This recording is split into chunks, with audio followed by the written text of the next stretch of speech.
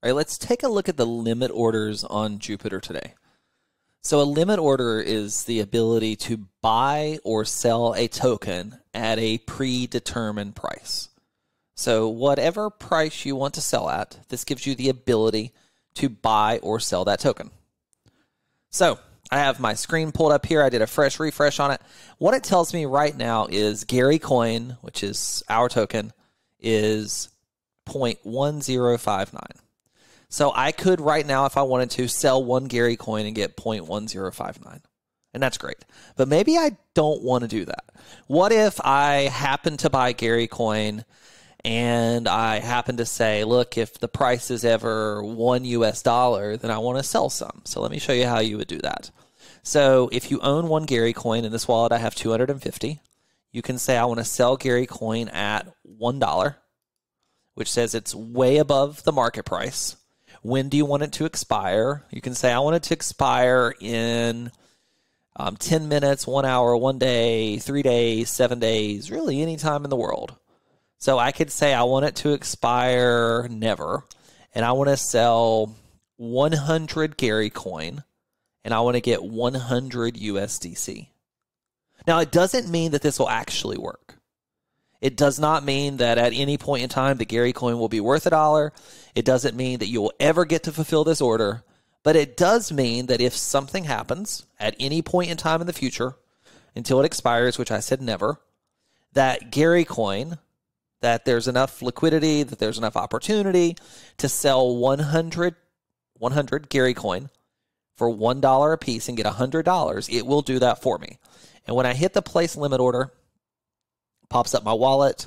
I go ahead and I confirm that. And it is done. Now, when I go down here, it says one Gary for 100 US dollars. Now, it's sitting here, it's waiting on me. It tells me it's open, right? It's never been filled. It's going to expire never. If I want to close it, I can, right? So, right now, I have only 150 Gary coin. It took 100 of my Gary coin away, and it's holding them here, waiting to sell them. And when I want to close the order, as long as I leave it open, it's going to sit there and actually work. But when I want to close the order, I hit the close button and I confirm. And what it does is it closes the order. So now, in just a second, I will have my 250 Gary coins setting here. See, back to 250 now. And I don't have an open order anymore. That'll go away in just a moment. Refresh data. There we go. It's all gone away. Now, we can also go the other side of this. Let's say you want to buy Gary coin. And let's say that you look at this price and it's 0.1059 and you're like, no way, not paying that much. Don't want to buy Gary Coin for 0.1059. That's your choice. So, what we would do here is we'd hit these little magic arrows in the middle, right there. And we would say, we want to take one Gary, or sorry, one US dollar, let's just say 50 US dollars. And we want to buy what if we wanted to buy Gary coin at 0.05 cents a piece? So we want to take $50 and we want to buy 1,000 Gary coin. Now, what this would do is if at any point in time in the future, it doesn't mean that it's going to happen today, it doesn't mean it'll actually ever happen. But if at any point in time in the future, Gary coin gets to 5 cents, and it's able to get before it expires. I can still do all my expirations. Can even choose custom and custom hours and days or minutes or whatever, anything I want. But if at any point in time it's able to go buy me 1,000 Gary coin for $50, it will do that. Now it can also fulfill smaller amounts of that. So maybe it's able to buy me 100 Gary coin for $5, but not the other 900 for 45 more. And it will do that. It'll just buy me the 100 for $5. So if I process this order, it will do exactly the same. So what this tells me that I can do is I can do a limit order, meaning I can set the price. It says set your price. I'm using Jupiter.